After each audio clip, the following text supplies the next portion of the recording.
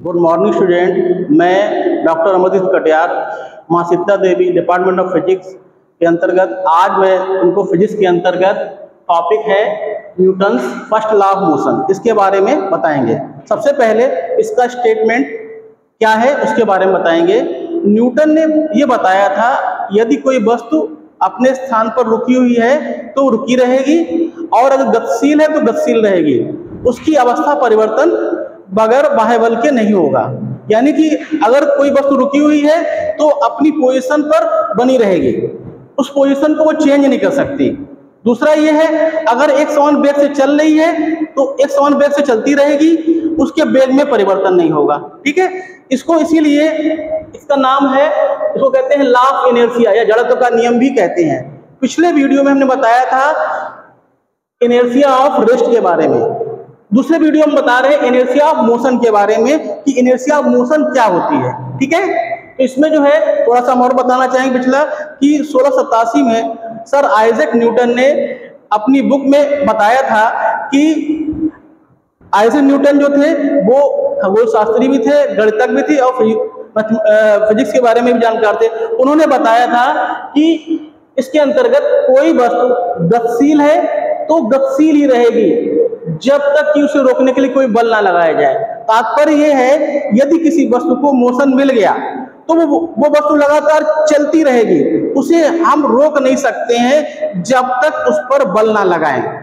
बल लगाने के पश्चात ही वो वस्तु रुकेगी। तब तक वो फ्रीली मोशन करती रहेगी। ठीक है? तो यहाँ पर क्या है? इसको कहते हैं इनर्सिया ऑफ़ मोशन यानी यहाँ पर क्या है? गति का जड़त्व। यानी क्या है? यहाँ पर वस्तु लगातार मोशन कर रही है। इसके अंतर्गत पहला एग्ज़ाम्पल कि अचानक गाड़ी के रुकने से यात्री आगे की ओर झुक जाता है। देखिए, जब भी कोई वाहन चल रहा है और उस वाहन में एक समान स्पीड है, यानी एक समान वेग से चल रहा है, अगर उसकी स्पीड 30 किलोमीटर पर आवर की है, उस स्पीड से चल रहा है और अकस्मात उसमें ब्रेक लगा दी जाए। जब उसमें ब्रेक लगाते हैं तो ब्रेक लगाने से समय होता क्या है कि जो उसमें बैठे हुए पैसेंजर जो होते हैं, वो क्या होते हैं? वो गतिमान अवस्था में होते हैं। वो अपनी अवस्था को एकदम चेंज नहीं कर सकते। जैसे ही ब्रेक लगेगी, वो आगे की ओर झुक जाएगा। झुकता इसलिए क्योंकि मनुष्य क्या है? मनुष्य जो है, वो गतिमान अवस्था में है। जबकि जो बस इस पर हम सवार हैं, वो कैसी है? वो रेस्ट अवस्था में प्राप्त हो गई। इसलिए क्या हो जाए? उस पर एक बल लगेगा जिससे कि आगे की ओर वो थोड़ा सा झुक जाएगा, ठीक है? दूसरा एग्ज़ाम्पल क्या है? जब दौड़ता हुआ घोड़ा अचानक रुकता है तो सवार आगे की ओर झुक जाते हैं। अब देखिए, किसी घोड़े को हम चला रहे हैं। चलाते समय क्या हुआ? वो एक समान वेग से गतिशील है। अब जब एक समान वेग से गतिशील है, हमको क्या है?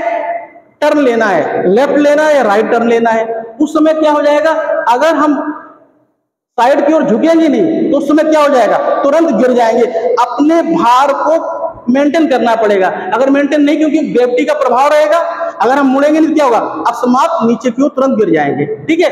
तीसरा क्या है? ट्रेन से बाहर की ओर कूदना। अब देखिए, कोई ट्रेन चल रही है, वो एक समान वेग से गतिशील है। जब ट्रेन चल रही है, उस समय क्या हुआ?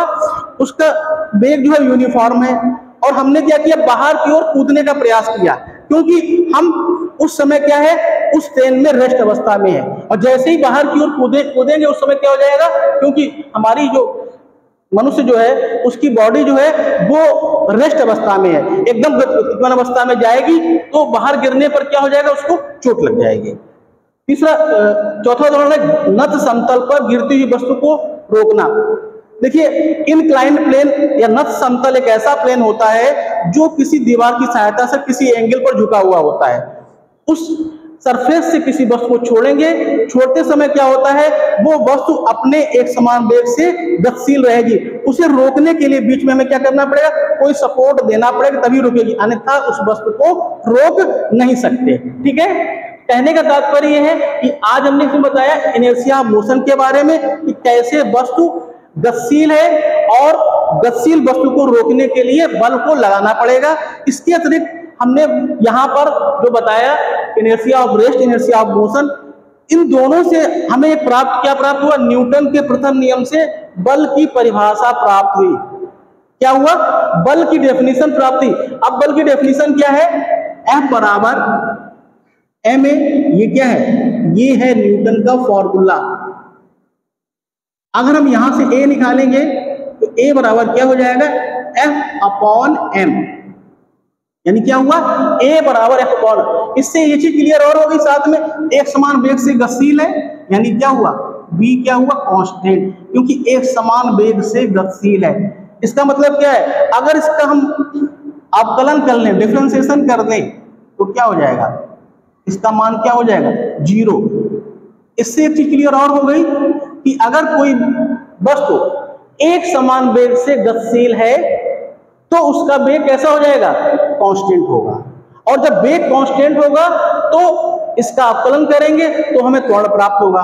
और एक समान वेग का जो त्वरण होता है, वो शून्य होगा।